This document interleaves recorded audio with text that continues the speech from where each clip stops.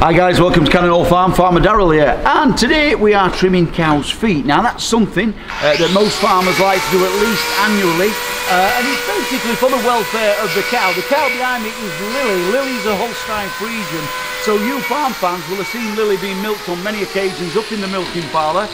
Um, she's one of our dairy cows. She's recently calved as well uh, so she is being milked again as, uh, as we speak.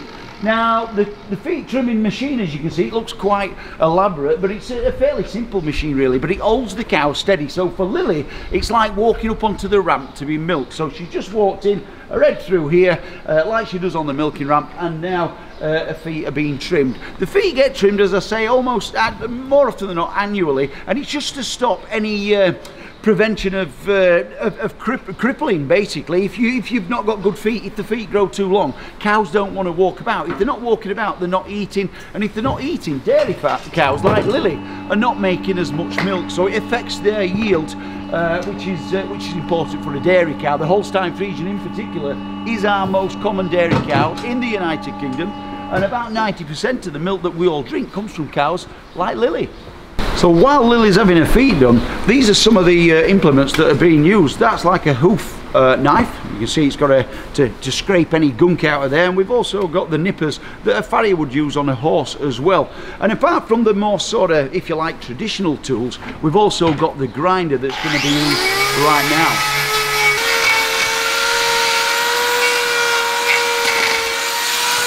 Right then, so you might think that the grinder that's being used is a little bit harsh. However, uh, having the, the cow's feet on the, the foot is made of, uh, basically made of uh, a bit like our fingernails. So as you can see, it's quite flexible.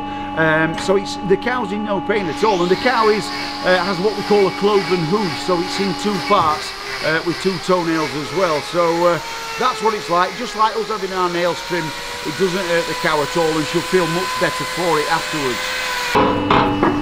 There we go, Lily with her uh, complete cow pedicure, looking good.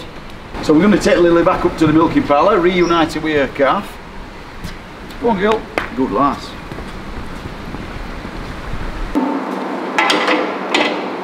Right then, so Lily's back in the milking parlour, uh, reunited with her calf. She's had her feet done and they're going to be absolutely spot on now for a good 12 months. So that'll not need doing again until next year. So hope you enjoyed the video guys. If you like what you've seen then like it and share it please do and uh, look forward to seeing you again soon.